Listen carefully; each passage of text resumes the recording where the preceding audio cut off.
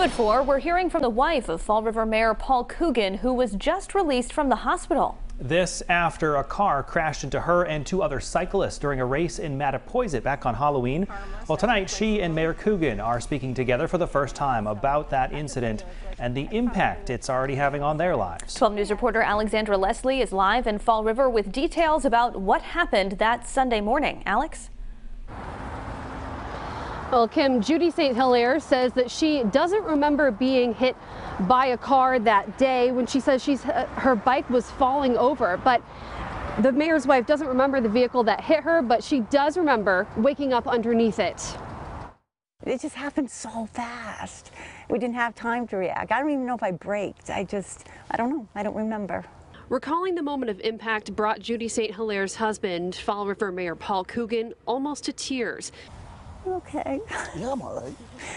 The mayor says he was at an event at the Fall River Police Station when he got the call that morning. Said Judi's cell on the phone. I said, "What is she stopping early or something today?" And it was a, a guy calling me to tell me to meet her up at St. Luke's. She had gotten in a bad accident. So he rushed to New Bedford to be by his wife's side two nights before he was up for re-election. Judi says she hasn't spoken to the driver that hit her since, but doesn't hold a grudge against him. He reached underneath the truck and he was upset. I mean, he's like, I'm so sorry.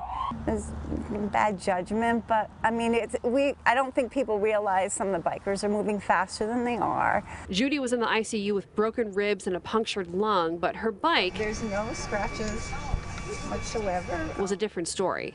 That's what blows my mind. It's not even a scratch on it. Now, Judi says she does know the other two cyclists that were hit. She says while one did suffer a broken rib, the other one didn't have any injuries at all. We did reach out to police to see if the driver is facing any citations or charges, but haven't yet heard back. Reporting live in Fall River, Alexandra Leslie, 12 News.